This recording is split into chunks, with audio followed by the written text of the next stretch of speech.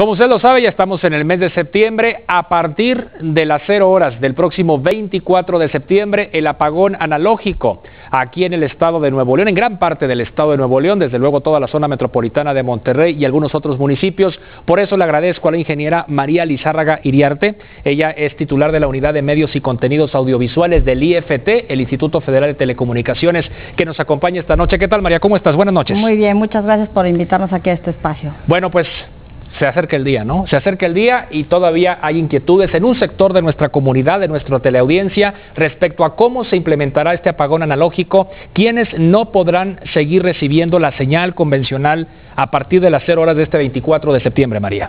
Sí, mira, el apagón analógico, como bien dices, a partir de las 0 horas del 24 de septiembre, va a afectar realmente a todos aquellos hogares o aquellas personas que dependen de televisión abierta. Es decir, si hoy en día tienen un servicio de televisión de paga contratado, esto no les va a afectar, no van a tener que hacer nada al respecto. Son los primeros que, digamos, estamos salvados, ¿no? Aquellos que tienen el servicio de televisión de paga, cualquier sistema de cable ya automáticamente va a seguir funcionando. Efectivamente.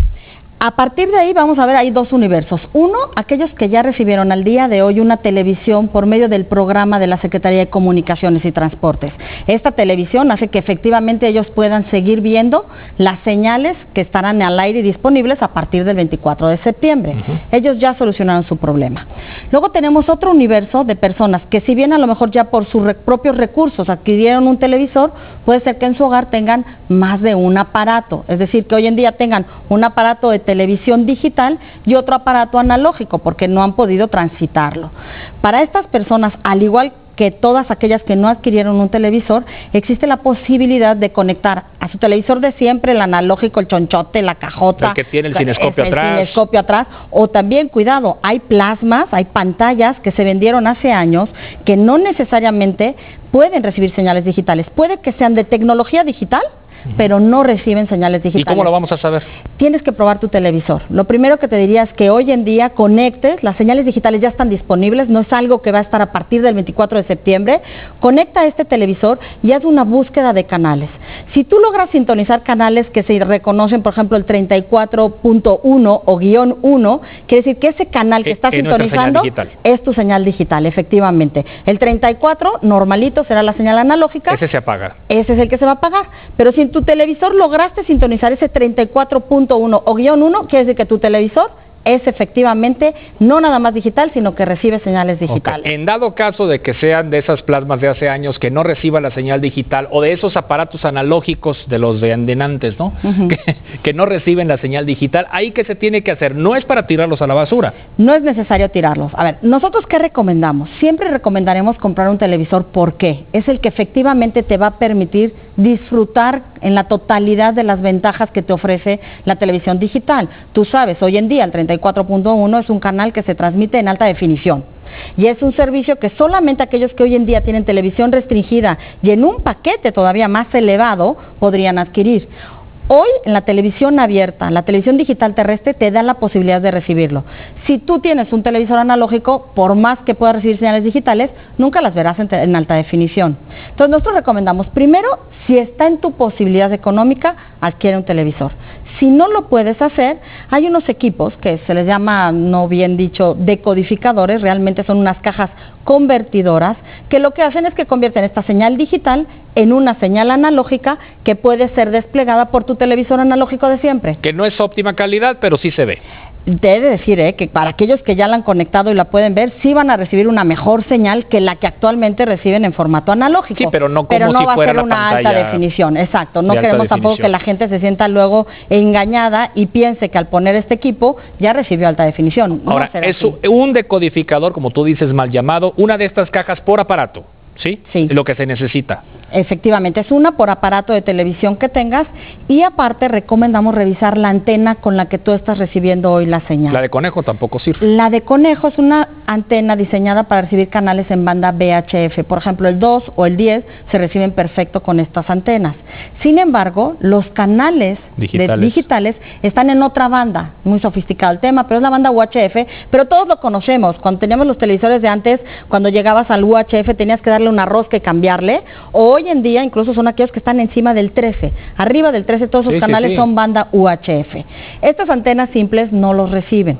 Entonces tú necesitas una antena un poquito más sofisticada. Te puedo decir que todos los que el día de hoy reciben tu señal del canal 34 analógico en su hogar con su antena, pueden recibir señales en banda UHF, porque el canal 34 está en la banda UHF. ¿Pero qué va a pasar a partir del primer minuto del 24 de septiembre? ¿Lo van a seguir recibiendo? Lo van a seguir recibiendo porque tu otro canal, el canal que se dieron espejo en digital, está en esa misma banda en banda UHF. Pero si este hogar, y esto lo digo en serio por, por tu audiencia, porque es directamente el que te está viendo ahorita, ¿no? Si tú ahorita estás recibiendo esta señal por, por el aire con esa antena, esa antena te va a servir después. No gastes dinero realmente necesitas el decodificador o la televisión. Pero por ejemplo el canal 10, el canal de las estrellas.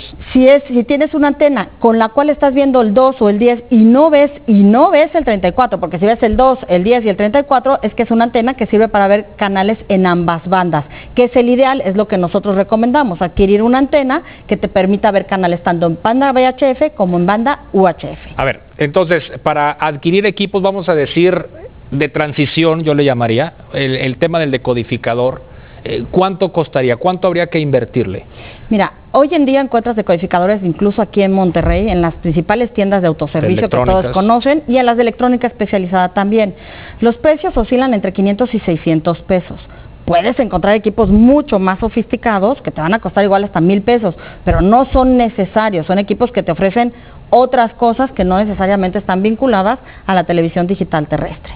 Estos equipos los encuentras, te digo, en cualquiera, no, no voy a decir nombres, pero en cualquiera de estas tiendas de autoservicio. O mueblería donde vendan aparatos electrónicos. Entre 500 y 600 pesos más o menos están. Te puedo decir que a lo largo que hemos venido apagando señales en el país, los precios de estos equipos han ido bajando.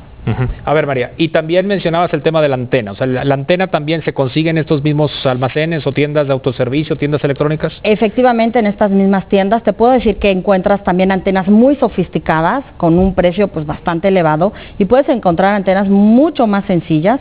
No necesariamente la más sofisticada siempre será la mejor. Profeco, la revista del consumidor, publicó recientemente en el mes pasado, en el mes de julio, precisamente un comparativo de decodificadores, de antenas y de televisores que yo te diría podrían consultar para ver qué es más efectivo. En antenas encuentras dos modelos, es importante decirlo. Unos que se llaman activos porque van conectados a la corriente eléctrica y otros que no necesitan ser conectados a la corriente eléctrica. Los que van conectados obviamente tienen una mejor recepción, una mejor ganancia, pero hay que considerar que van a consumir energía. ¿Sí? Entonces, no es necesario que siempre te vayas por una opción más cara o la opción que más va a gastar. Hablábamos al principio acerca de universos, ¿no? Aquellos que tienen ya eh, contratado algún sistema de televisión de paga o de cable, entonces eso no va a tener ningún problema, ¿no? Eh, eh, ¿De cuánto estamos hablando? Es decir, ¿de cuántos TV hogares, como lo llamamos técnicamente, de cuántos hogares con televisor estamos hablando en el estado de Nuevo León? O sea, el momento del apagón analógico, si ahorita fuera el apagón analógico, ¿cuántos ya no podrían recibir? ¿En cuántos hogares, porcentaje, si lo tienes, no podrían recibir la señal?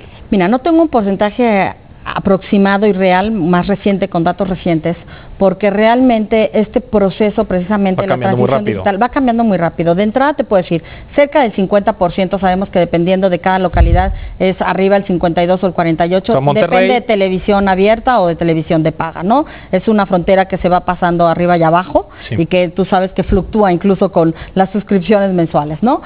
Pon tú que de ese otro 50% hay que considerar también, por ejemplo, todas las televisiones que entregaron. Y luego hay fenómenos que se van dando. Por ejemplo, el año pasado tuvimos un mundial, lo cual permitió que mucha gente sabemos que cuando vienen este tipo de eventos compra, compra un televisor. Luego viene el Buen Fin, la gente compra un televisor. Navidades también te permite comprar televisores, ¿no? Es son momentos en los que tenemos claro que estos números van incrementando. Monterrey tradicionalmente ha sido una de las ciudades con mayor penetración de TDT, de receptores de TDT. ¿Por qué? Pues por las cercanía obviamente con la frontera, por el tipo y el nivel socioeconómico que tiene la propia ciudad de Monterrey y esto también pues creemos que favorece en la ciudad y en el área metropolitana para el apagón. María, yo quiero invitarte que de aquí al día 24 tengamos a alguien de, de tu equipo colaborando con nosotros en las noticias o en nuestros programas de entretenimiento en contacto con nuestra audiencia resolviendo dudas.